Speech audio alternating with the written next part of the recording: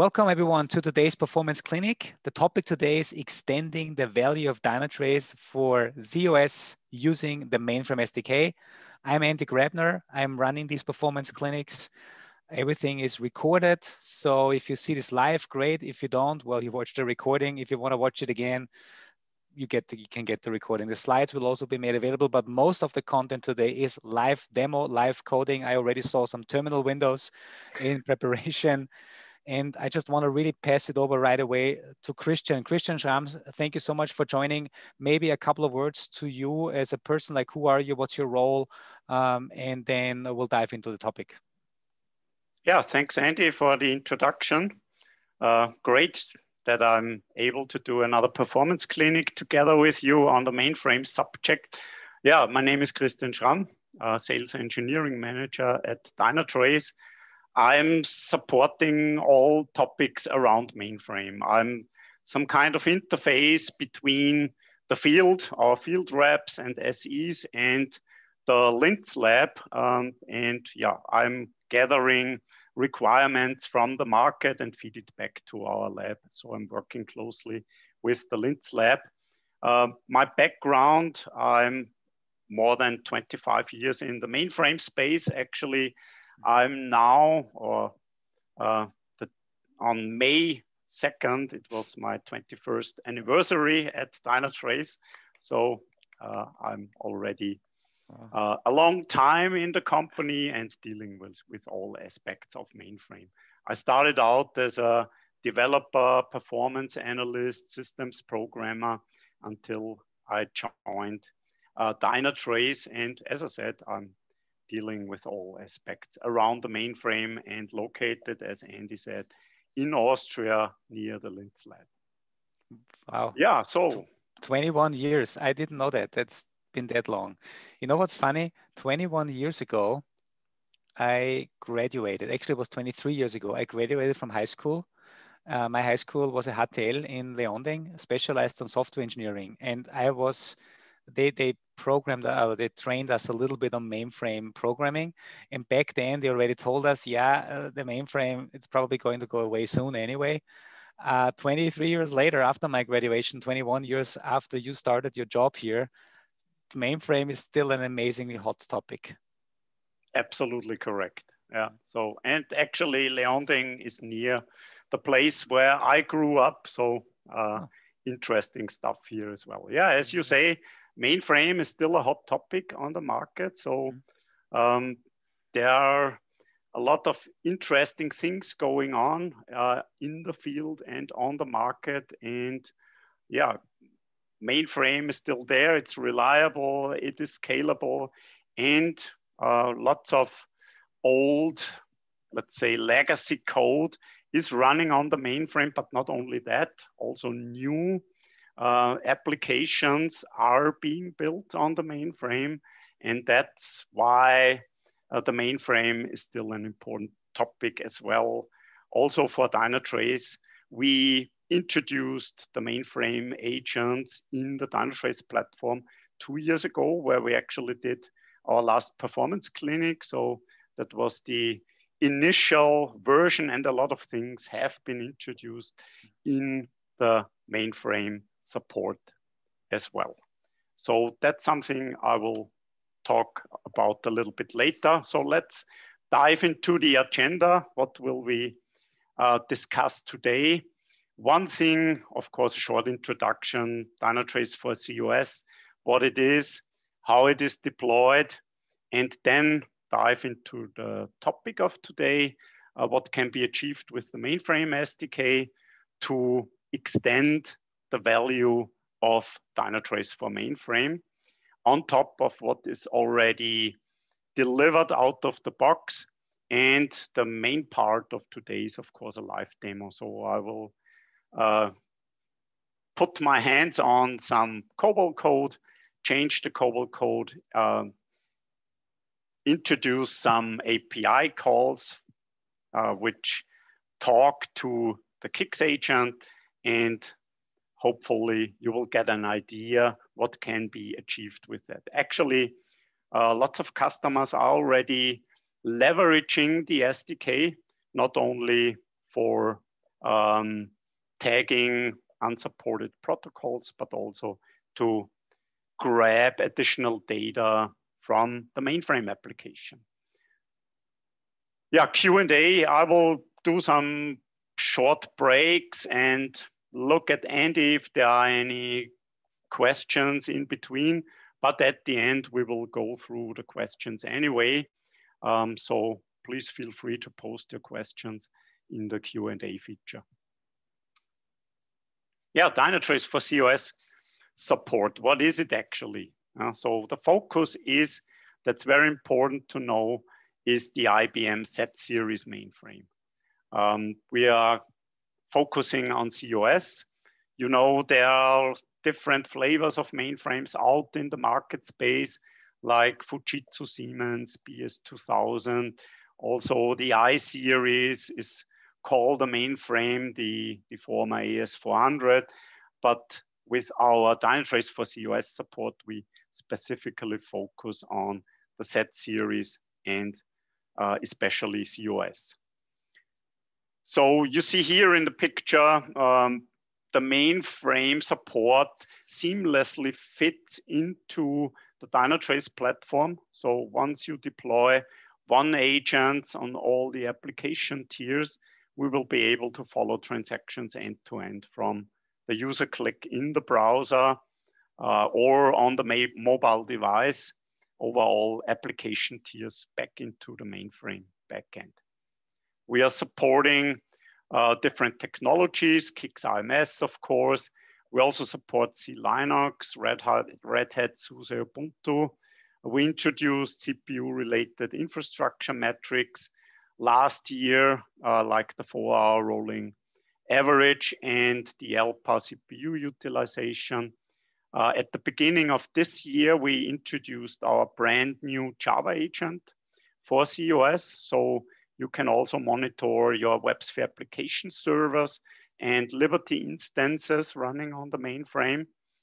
And from a database perspective, it's DB2 and DL1. So no matter what you're using as a database, we will be able to see the SQLs and the DL1 statements in the backend as well. Very important, of course, is the middleware support. So it's always crucial how you connect to the mainframe, how your distributed application tiers call into the mainframe. There's a variety of technologies out there, like MQ, you see here, we support uh, that as well, um, no matter if it goes into CICS or IMS uh, like Trigger Monitor, uh, MQ Bridge is supported.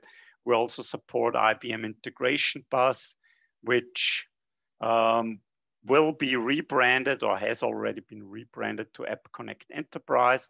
That support is there as well. SOAP into CICS or IMS is supported.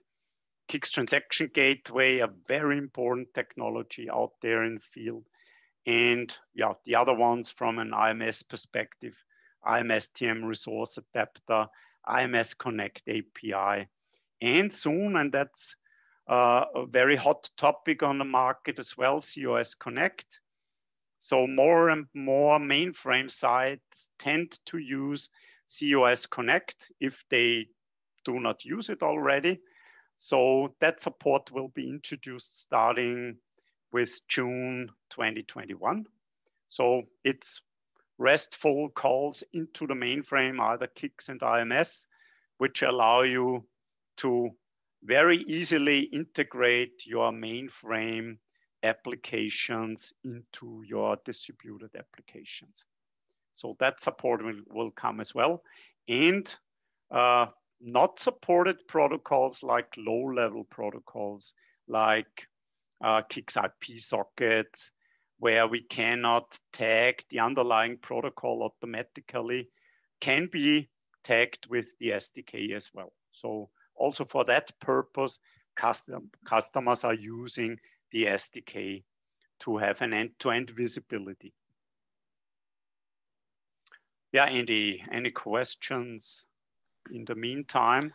Yeah, um, so Danae uh, asked a question, and I already posted a link to a blog post. But the question was, can Dynatrace get detailed information about the CPU utilization from an LPAR? I know that it can show us the utilization, but I cannot see the tasks which are using the CPU, only the CICS IMS processes that I've configured with the OA. So the, with the uh, uh, one agent, I guess. Um, I responded with a link to a blog post that I just found. As I said, mainframe is also not my field of expertise, but a quick Google search revealed a recent blog post. Um, but maybe you want to add something to it in terms of. Yes, so that is absolutely correct. Uh, we do have the LPAR CPU utilization. You see it here in the background in yellow. That's the LPAR CPU utilization and absolutely correct uh, we show um, the CPU percentage uh, of the C of, of that overall LPAR, but we do not show all processes. We show the processes where an agent is deployed because these ones are relevant from a Dynatrace perspective. But you know, there are a lot of other workloads running on an LPAR like batch processes and uh, also standard uh, address spaces like TCP IP or DB2 master address spaces where we do not uh, deploy an agent into these processes. So yes, we show the overall CPU utilization, but we do not show, for instance, how much CPU uh, a batch process contributes to the overall utilization. Awesome. And uh, just a reminder for everyone, if you have questions, do it like the others, uh, use the Q&A feature, and then uh, we will have dedicated time to answer all these questions. Thanks, Christian. Okay. Let's move ahead. Yeah, concerning the architecture of the Dynatrace for ZOS support, it's very easy to set up. The You basically need a couple of components. One on the distributed environment is a so-called zRemote that runs on a server and receives the information from the mainframe. It uh, talks to an ActiveGate, which forwards the information to the Dynatrace cluster. And on the mainframe, you need a couple of components as well. You need a, a started task per LPAR, which is shown here zDC and zLocal. The zLocal is a, a little agent which receives the data from the IMS and CICS agent and also from the Java agent and immediately sends it over to the distributed world, to the zRemote, which does further processing and forwards it to the Dynatrace cluster. Yeah. And from a load perspective, of course, it's important to size the zRemotes appropriately so that the load that can be expected from the mainframe can be handled by these processes. Uh, so in, in production, you typically use a eight core box to receive traffic from heavily loaded production environments. Also in each CICS IMS and JVM, you deploy an agent and that's basically it. Yeah. So then you are all set. The data will be collected by the CICS IMS and Java module, sends it over to the zLocal, and then it finds its way to the zRemote and to the Dynatrace cluster where all the magic happens, where um, the correlation is being done with, with the distributed application paths. Hey, Christian, I have a very strange and maybe very stupid question. Remember, I don't have the background in mainframe, but I knew a little bit, I know a little bit about uh, Kubernetes. And if I look at this, it's somehow strangely reminds me of a Kubernetes cluster with different cluster nodes where I install one agents. Is this somehow, I don't know, this is maybe a completely stretch idea now, but are we kind of circling back after so many years to very similar architectures? Yeah, that, yeah. definitely. Yeah, it's absolutely the same architecture and idea behind that. You have CICS clusters, you have IMS clusters, you have WebSphere application clusters um, to, to balance the load, to have failover functionality. You can spread the, the CICS regions, the kicks plexes, as they are called, on different LPARs. And no matter where you deploy these plexes, we are able to follow the transactions. Mm -hmm. Hey, and one question just came in. Uh, zRemote and ActiveGate, are they on the same server, yes or no? Um, yes and no. The, the reason why I say that is that the zRemote currently is being deployed as part of the ActiveGate installer, but the local ActiveGate uh, that is then sitting on the zRemote box will not be used for connecting to the Dynatrace cluster. The zRemote then connects to one of the other normal one agent active gate mm -hmm. or to the cluster active gate on the Dynatrace cluster. Mm -hmm. uh, so yes and no is the answer here. Mm -hmm. I hope I explained it uh, but we'll to see your full yeah. satisfaction. Yeah, we'll see if there's a follow-up question coming in from yes, that same person. Yeah, he said thanks. He or she said thanks. Yeah. Yes, but actually there are plans to uh, split the zRemote installation from the ActiveGate installer. So mm. the ActiveGate installer is just a wrapper to install the zRemote on a okay. server. And that's basically it. Mm -hmm. But we have a project running to, to split that away so that you can deploy the zRemote even on an ex existing ActiveGate server, which would um, make it easier, of course, from a deployment perspective. Mm -hmm. uh, you will not need another server for the zRemote then. Mm -hmm. Good. Let's move ahead to the main topic of today, to the mainframe SDK. Um, the SDK is available for CICS and IMS. So it can be used uh, from different programming languages. You can use it from PL1, COBOL, or even uh, C code. It is documented uh, on our public documentation. So here is the link. Uh, let's probably go there. So you see here the documentation of the CICS and IMS SDK. It allows you to uh, tag protocols that are not supported out of the box. That is done via specific API calls like the start PurePath, the start linked PurePath, but that will not be the topic of today. It's also very easy to use. You simply call the API and can start a transaction or can uh, start a path for a transaction that has been started on a different platform and our correlation engine will then find different pieces together. But our focus today will be on these API calls, the enter node, the exit node. It will insert additional nodes into the PurePath. Um, and that will allow you as well to attach data to these nodes, which you can capture with that data capture API call that allows you to either capture some integer values, some long integer values, of course, as well, or some, some text information.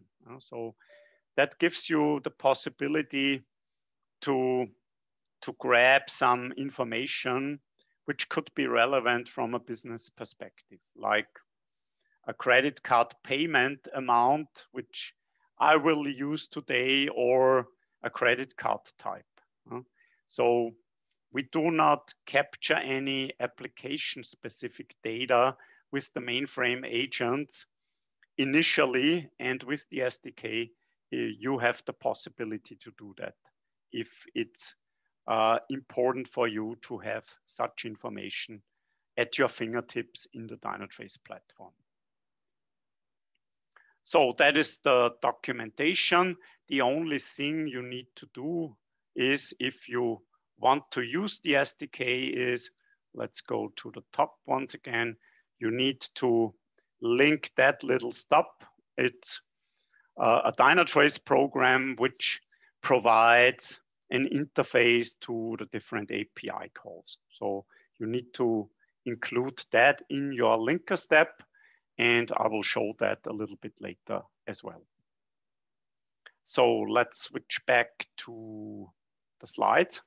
So as I've said already, uh, with the SDK, you can tag inbound and outbound requests, which we will not do today. You can capture additional data. That's what I have already mentioned. And that is also being used more and more by customers. You can create exceptions out of your COBOL code. That does not mean that your CICS or IMS transaction is failing, but it is marked with an exception in the Dynatrace platform. And then you can, of course, mark these transactions also as failed, as you know it from the distributed technology stacks. And that gives you the ability um, to create custom exceptions, which are also leveraged by our AI engine then out of the box. So I will show that as well in the demo, how that then looks like. So what will we do today? Uh, we will add some simple SDK code to our COBOL application um, and will create a Dynatrace request attribute so that we can leverage the data that we have captured with the SDK in the Dynatrace platform. It is a credit card payment amount. Um, if you know, and most of you probably know our Easy Travel application, where customers can book journeys and at the end of the mainframe application, a credit card payment is being done. And of course, in the application, we have the credit card type available and also the credit card payment amount. And we will make that available um, in using the CICS SDK. And not only that, we will also mark a PurePath with an exception if the credit card type is invalid and the credit card amount is zero. So that gives you then the ability to further leverage our AI engine. Okay, let's go to the live demo. So Christian, maybe before yeah. the live demo, just to have so that you have it in your head, because maybe you cover this in your live demo. Uh, one question came in on the request attributes that you're showing. Are they yeah. only possible through the SDK, or is it also possible with just the CICS or IMS agent? That's kind of one question. I'm not sure if you want to answer this quickly, or if request attributes. Yeah, I, I can answer that quickly. Uh, to leverage the SDKs, of course, you need to have an agent deployed. Uh, so if you want to leverage the CICS and IMS SDK, it's an API call to the actual agent that is sitting in the regions. Uh, mm-hmm. so you cannot use the SDK without an agent. Mm-hmm. Um, because if you if you do that, you will get a return code from the API call, which is a minus one typically, and that shows you that there is no active agent there. Mm-hmm. I think the question was also around request attributes. Can request attributes in the context of mainframe only be used through the SDK? Or can you also define request attributes without the ah, SDK okay, instrumentation? I understand. No, you definitely need the SDK. As I okay. said initially, we do not capture any any data out of the box with the agents to keep it lightweight and really uh, with low overhead. And if you want to have additional data and also define request attributes, you need to leverage the SDK. Mm-hmm. Perfect. And I also see that our colleague Mike Horwitz has joined the Q&A And he's also giving some answers here on other questions that are coming in. So I think you have awesome support. Greetings Perfect. to Detroit. Hey, Mike. Hopefully all is well. Hi. Good. Yeah, so let me switch over to the demo environment. What is Dynatrace? I will not explain here in detail. So hopefully everybody can see that now. I'm here in our demo environment where we monitor actually different applications. Um, and one of the applications is also an easy travel instance, which has a mainframe backend. Uh, you see here a dashboard which I have created uh, quickly, which shows me the key metrics because I'm the administrator of that mainframe backend and also always I want to see my key metrics of my mainframe application. If my LPAR CPU utilization is good, um, which means it's not reaching like 100%. Uh, also, if my kick service is there, if the if there is throughput, if no credit card transactions would come in, of course, no journeys would be booked. And that would not be good from an application perspective, of course. I always see the key metrics for my mainframe applications, the, the browser application, and also the mobile app. And of course, I, I can drill down into these applications by going here and yeah, I, I see from a user perspective how my applications are behaving and can look at the key indicators, but what I want to show here is the service flow, which gives you visibility for that um, browser-based application with the mainframe backend, how the service flow is actually into the mainframe.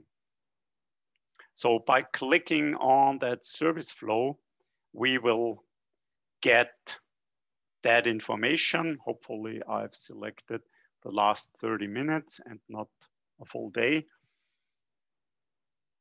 Let me quickly check that. Now let's switch to 30 minutes to increase the speed a little bit.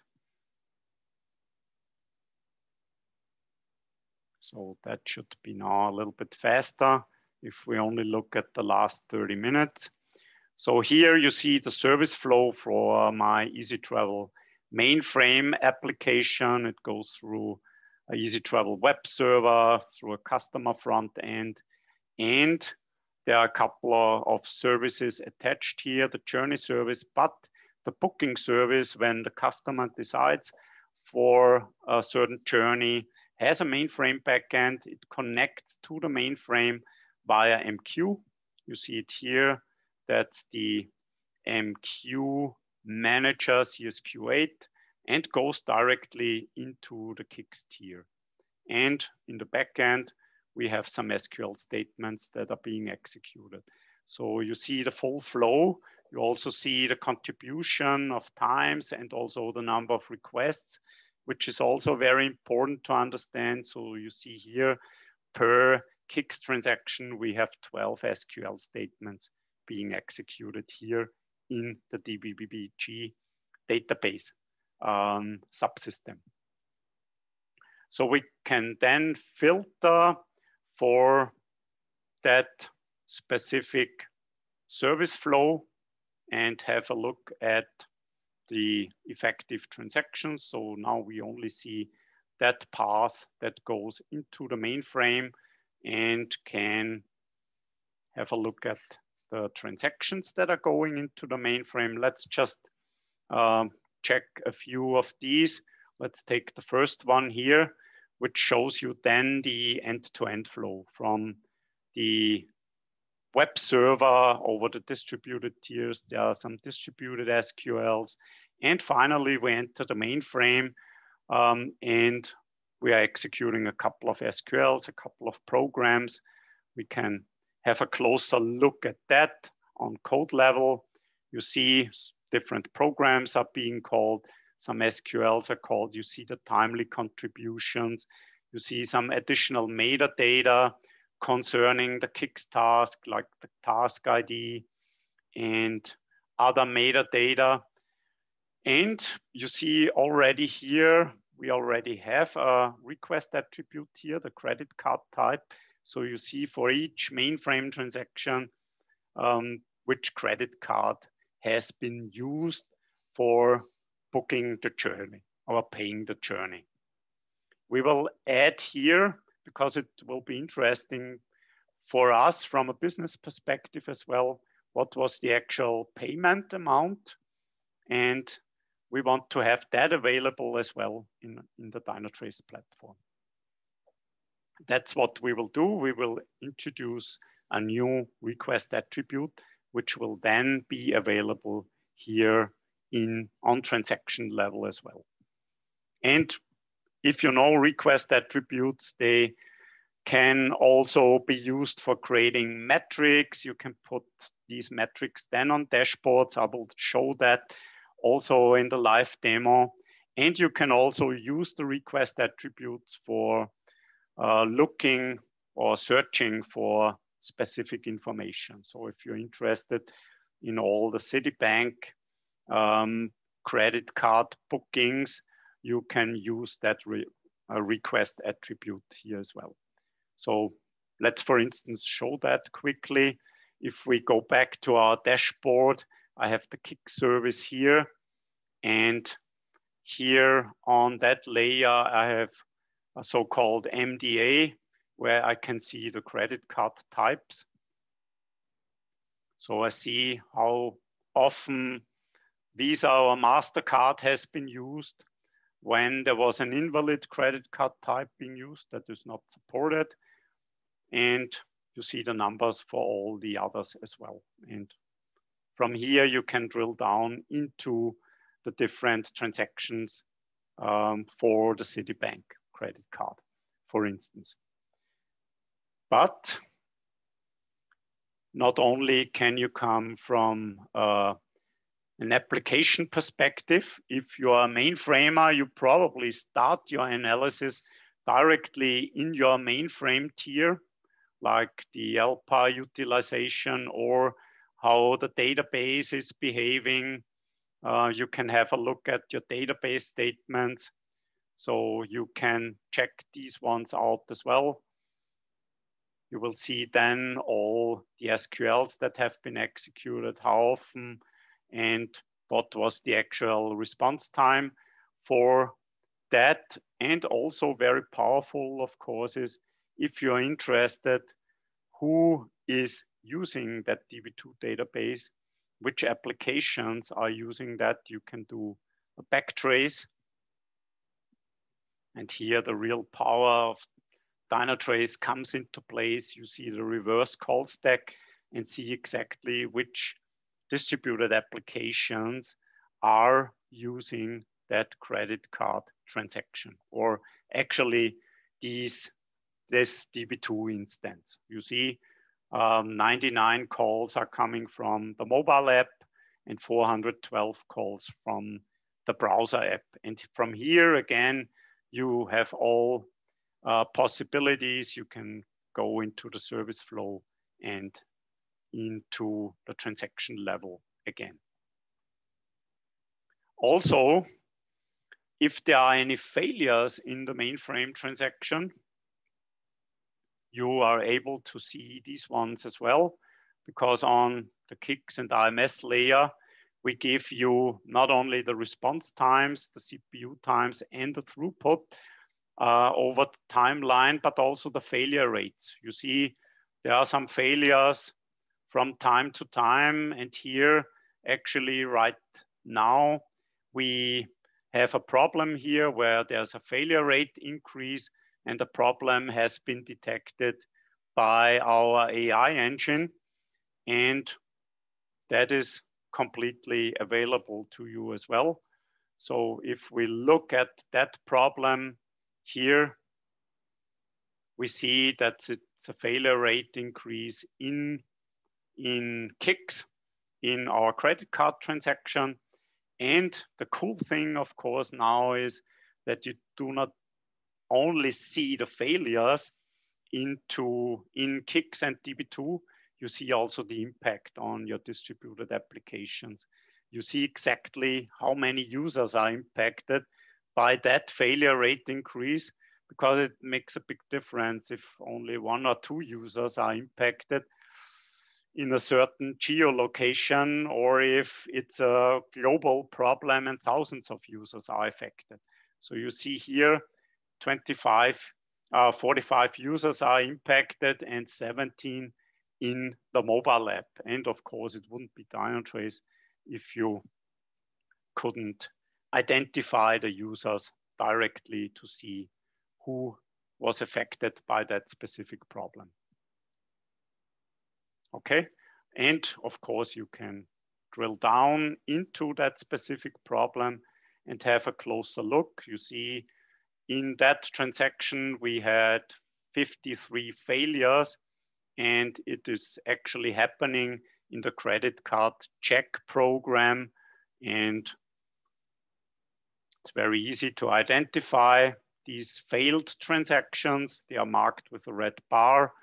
And if we drill down further, we see we had one failure and one exception because the credit card type was invalid. So that is being marked here. And yeah, that was a quick demo. And now we will do um, the hands-on on the COBOL code. We'll introduce a new request attribute. So I will go into my mainframe environment unless there are any questions, Andy. Uh, yeah, there's one question. Well, as first of all, I wanted to double check if the answers that Mike uh, Horwitz has presented are actually visible by the folks that have uh, asked around sizing guide. I think everyone sees these answers. Uh, just wanted to double check. But then another one came in just to what you said, and I'm reading it out loud. Can you explain what will be the effect if we set this transaction ID you're showing on the CICS requests on the deep monitoring config, will it stop the integration with the distributed environment side? Um, I guess the question is referring to the transaction start sensor. Um, yes, you should only leverage that for 32, uh, 3270 transactions, mm -hmm. which do not have a distributed front end you need to define these transactions then. But we also have an ongoing project now to, to split that transaction start sensor because right now it is being used for 3270 um, transactions and also for transactions which use a protocol that are not supported out of the box. So we will split these types of transactions and there should be no interference then anymore with the other sensors. Mm. Okay, thank you so much. And just a quick time check. Uh, we are 40 minutes in, so um, just so you know how we are. Yes. So let's go to the mainframe. So I'm here on my development LPAR where I have my Easy Travel code, my Easy Travel application, and I will go into the editor and edit my mainframe source code. It's available here in that library. There are a couple of programs which are leveraged here and the credit card type and the credit card payment amount is available in that specific program. And therefore I will open that and put some additional code here. So if I scroll down here to, there's some application code here and here we are already capturing here with the SDK the credit card type. So that's the SDK code, which is already in there. And if we scroll further down, I've commented out oops, the code that I will be introducing now. So I will adding new code and let me explain what we are doing here. We are here capturing additional data with that DTDCI as I've shown in the doc, we are capturing uh, an integer value and I'm here now capturing the payment, which is the credit card payment amount. Uh, the part after the if is just for providing an error message if we get a, ne uh, a negative return code. Uh, we're logging a message here. But for capturing the data, this integer value, we simply call that API with call DTDCI, I for integer, and also what we need to do is we need to um, add another node into the PurePath. The node will be called credit card payment. We will see then that one then in the PurePath. And with that call DT and F, we are adding that node. So we can give it any name. It should be eight characters. And that's basically it. Node name and calling that API call here. We enter or add an additional node in that specific transaction. And what we are uncommenting here now is doing the following. We are checking here if the payment is equal zero or not. If it's zero, we are creating an exception for that specific PurePath. So that PurePath will be marked with an exception in Dynatrace. If the payment is not zero, we will simply close that node. Anytime we enter a node, we need to close it as well. That's what we need to do here. And that's what is happening here. The DTXX is closing the node and additionally adds an exception. And that's pretty much it. I need to oops, add some more lines here.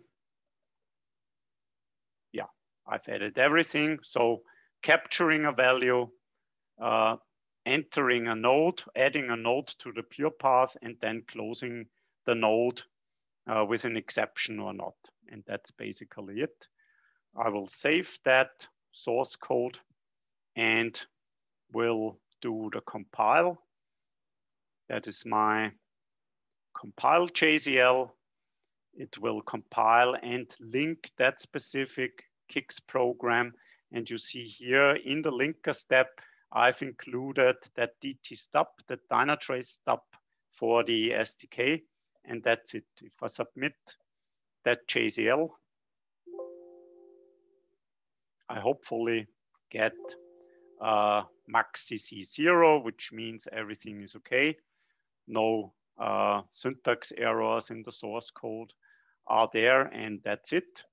Now I need to activate that program in CICS. So therefore I will switch over to my CICS backend, which is this one. Welcome to CICS.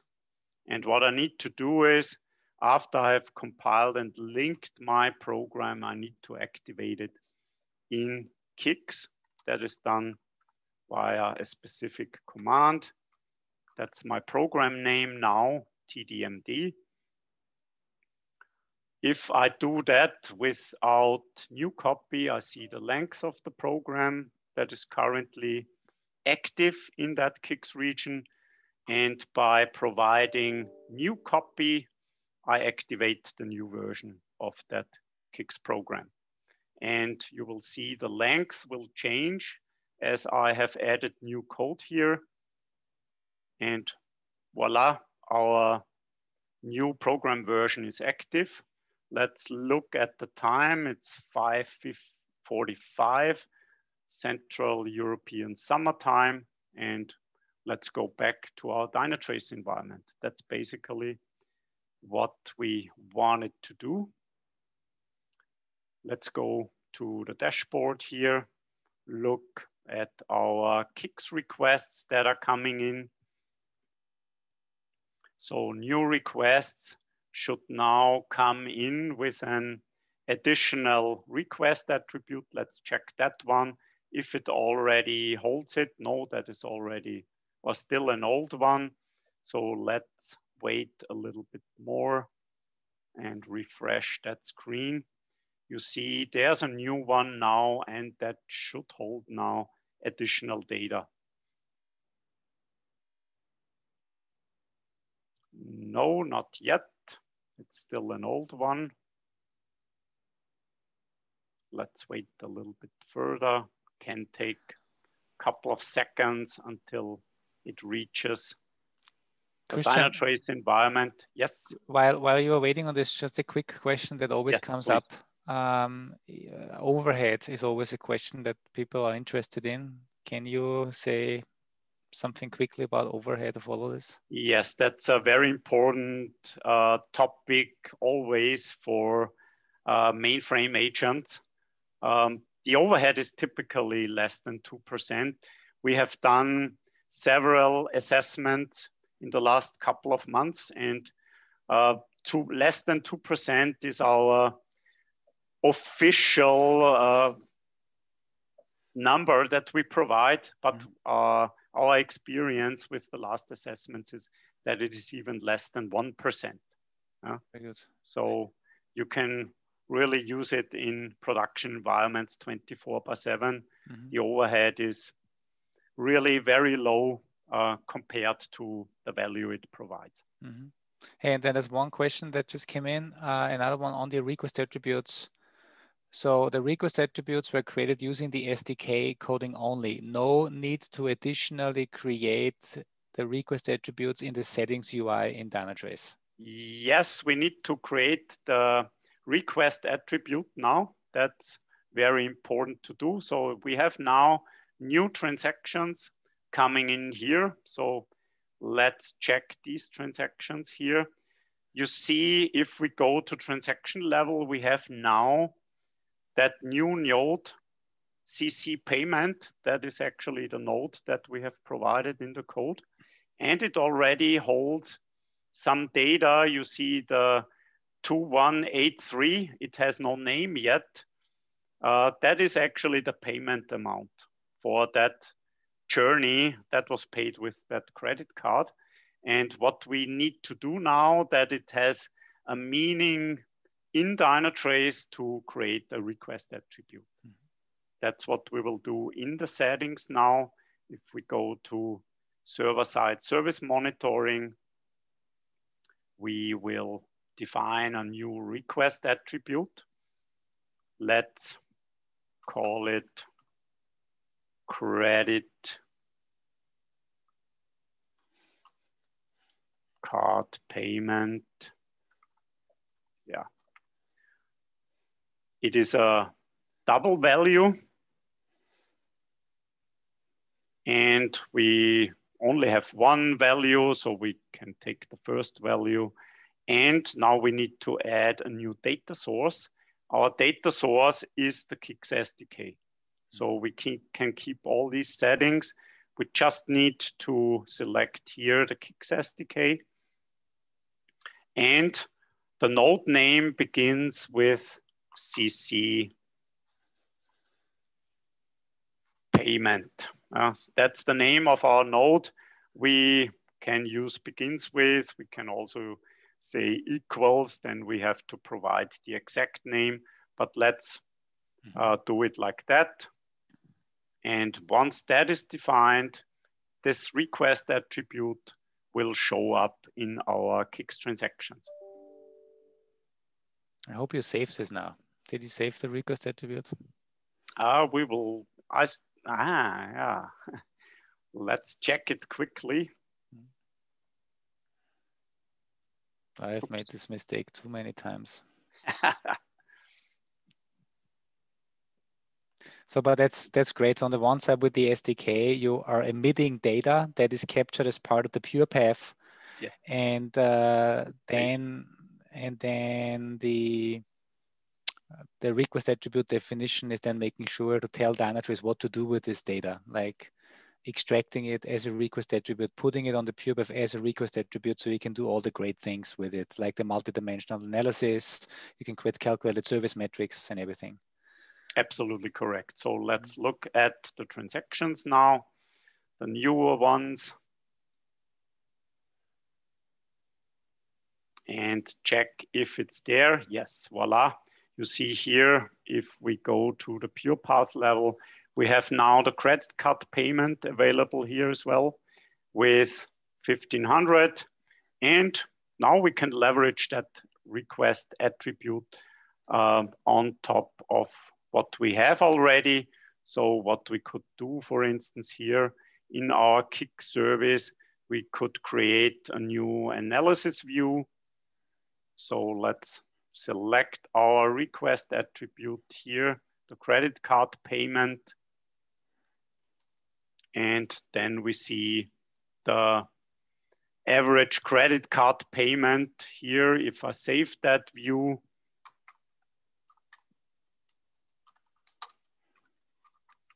I will have it available at my fingertips on the CICS service.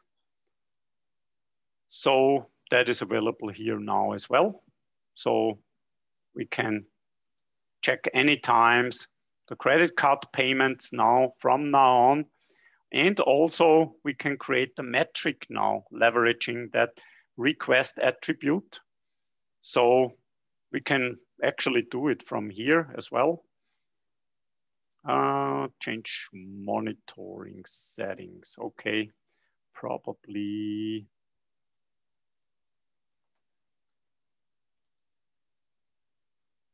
Yeah, probably I'm locked on with, not with the right user. Let's try it from here. Or maybe I've used the wrong permissions. Let's check it quickly.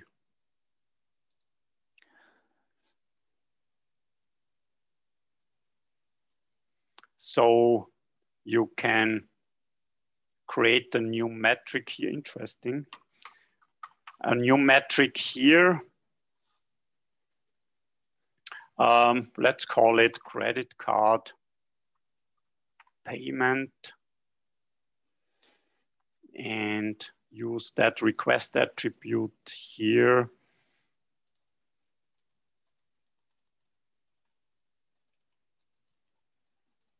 We can even provide a custom unit, which would be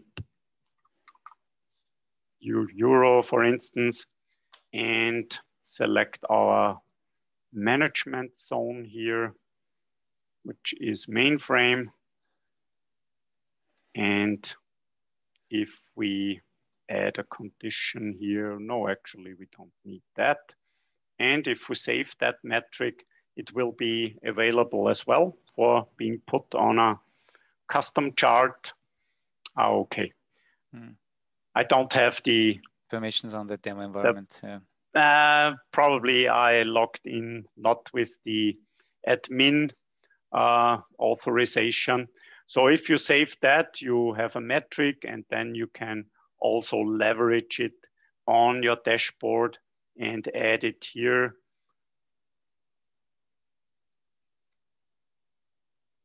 For instance, here, if we resize that, you can add a new custom chart and leverage that new metric if you are able to save it and have the right permissions, you can do that. And then you can select here the new metric, which I was not able to save here in that specific case. And then you have it available on your dashboard as well. It works with the right user. You see it here. Then you have the credit card payment on your dashboard as well and can always see how much payments are coming in from your credit card transactions. Mm -hmm. Yes, that was it basically with the demo. Are there any additional questions? Uh, well, first of all, thank you so much. I think questions already came in. Uh, thanks for some really active users that asked a lot of great questions. Also to answer, yes, the session was recorded, so you can rewatch it because there was a lot of great info in there. Uh, typically, I would probably say tomorrow the recording will be up on both university.dynatrace.com if you go to the Dynatrace webinar section also, you will be able to watch the same webinar on the YouTube channel that I have for the performance clinics. And uh, I will send in the short link to that YouTube channel as well on the, the chat.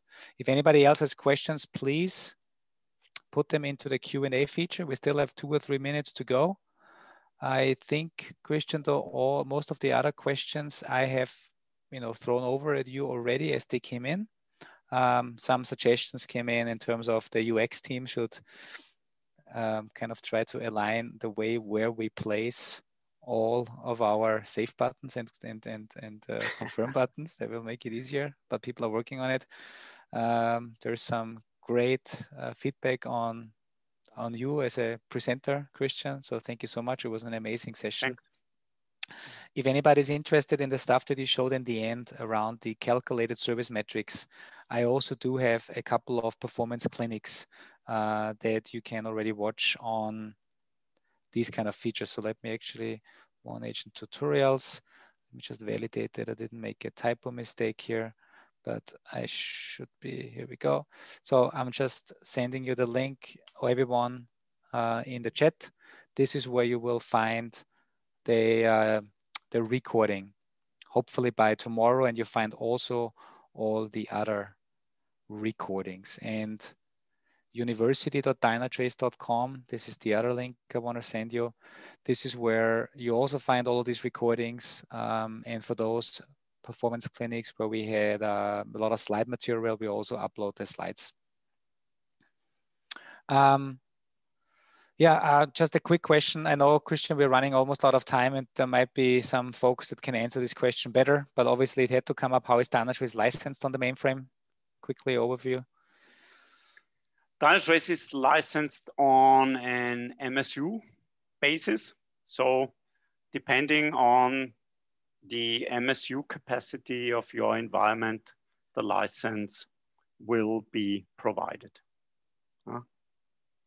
Of, of course, it also only refers to the environments that you are actively uh, monitoring the LPARs where you do not put agents will not be part of that MSU capacity. Very good. Um, Christian, if some people have other questions following up, I know you are obviously you're active on answers.dynatrace.com. That's our community forum. I'm sure people can reach out to you. I mean, the, the, the mainframe community is big, but still, I guess, especially those that are interested in monitoring and uh, observability hopefully can reach out to you via, I guess, hooking you up on LinkedIn or something like that? Yes, definitely. Just just ping me, christian.schram at dynatrace.com or LinkedIn or Twitter, whatever. Mm -hmm. So I'm available Perfect. on all channels. Perfect. And now, uh, again, thank you so much, Christian. I hope it doesn't take another two years until I'll have you back. Um, Hopefully not. Yes. Yeah. Uh, but having a mainframe guy on Twitter, lol, yeah. you gotta you gotta teach these young kids on Twitter how to behave socially. so that's why you need some folks like like Christian on Twitter as well. And uh, seriously, thank you so much, um, and uh, we'll have you back. See you soon, and stay Great. safe Thanks, and healthy. Andy. Bye bye. Bye bye, everyone. Thank you. Bye, everyone.